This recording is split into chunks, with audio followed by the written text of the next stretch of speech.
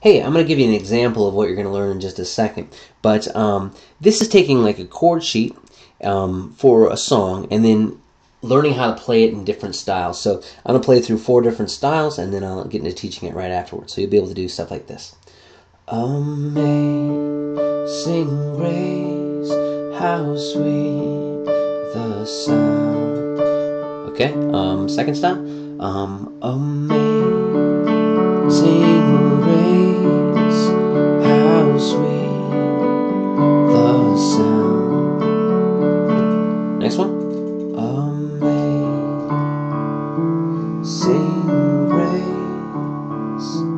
How sweet the sound. All right, here's the next one. Amazing grace, how sweet the sound. Cool. Um, okay, so one, playing from a chord sheet.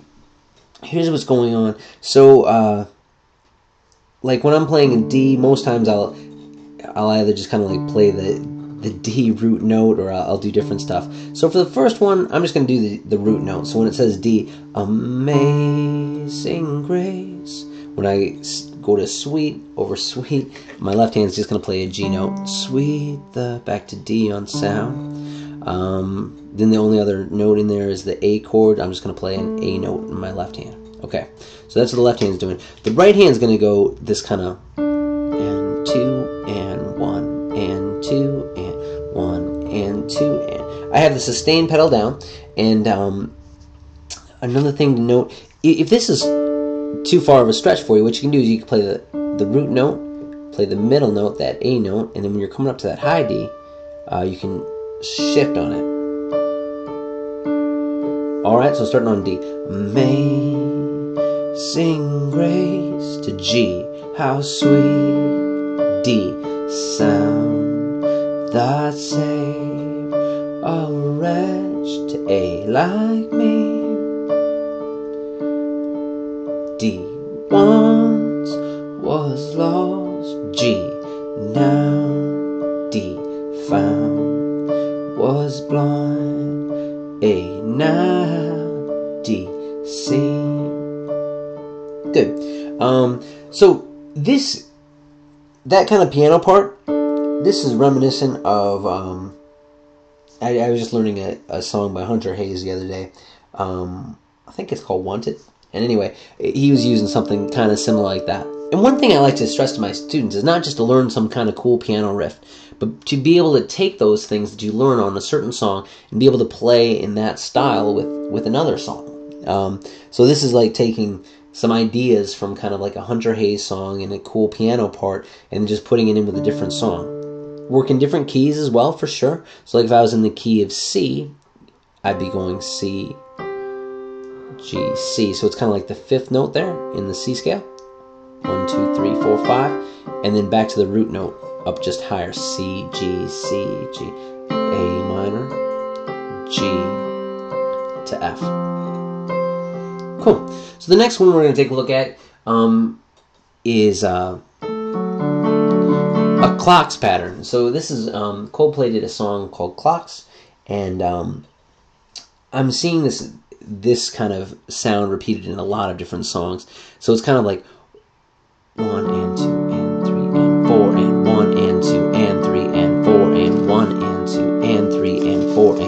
So what I'm doing with my chords is I'm doing a one, three, and five. All right, we'll just one, three, and five right there, and I'm going one, two, three, one, two, three, one, two. Then starting over one, two, three, one, two, three, one, two, one, two, three, one, two, three, one, two. Good. To make this easy, my D I'll just like do like that. My G, one, three, and five. One, two, three, one, two, three, one, two.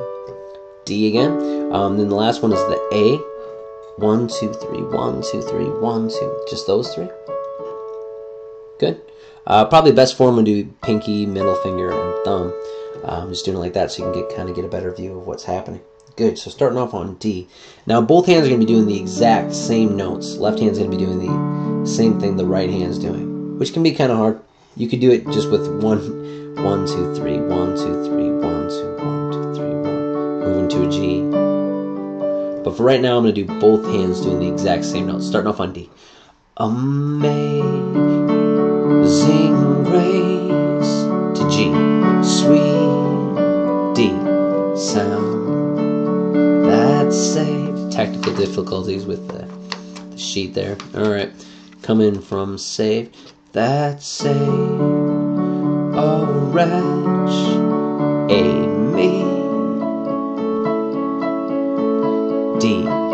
once was lost. G now D found was blind to A now D C. Okay, and then with this, you can go right there. I was going in the same direction. You can go in the opposite directions as well. Sounds great. So I'm starting on both pinkies, both middle fingers, both thumbs. That also sounds good. Good. Next one, uh, we're going to do a left hand pattern for this one.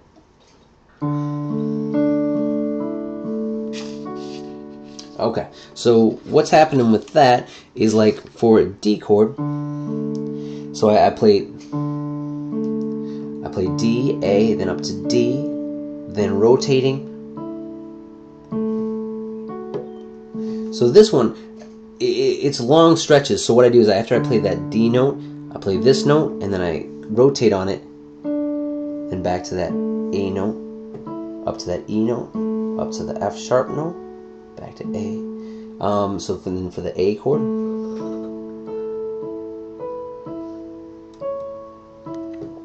then for the G chord,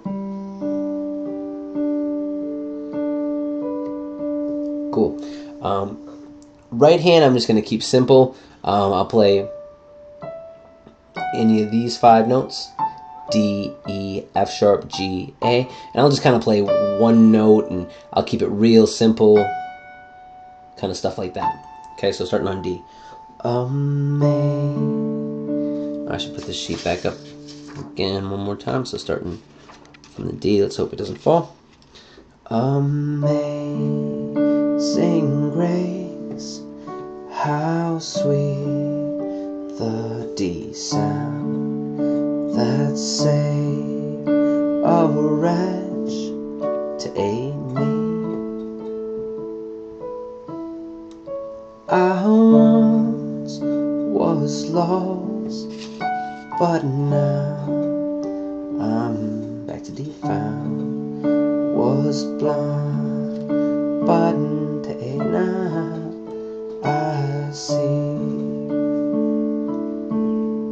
So sometimes I didn't have enough time to get through the, the whole kind of thing. That particular sound works well for, for a really nice kind of slow song. Doesn't work so well for a really fast song, but um, kind of a nice sound to it. Kind of cool. All right, next one we're going to do uh, sixths. So sixths give you kind of a, a sad sound.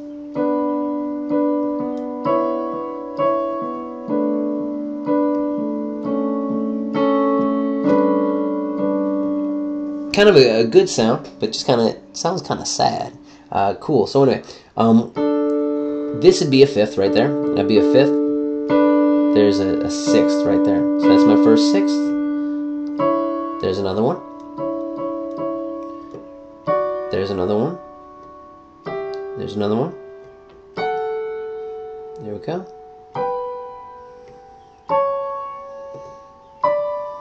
And then we're so those are the, the six we can use. Um, good. So anyway, uh, I'll just start off on, and then sometimes I, I bring in fifths right there. Sometimes I bring in thirds, but I'm kind of focusing in on the, the kind of sixth sound there. Okay, so starting off on D, and I'll just do one finger in the left hand. So starting off on D. Amazing grace, how sweet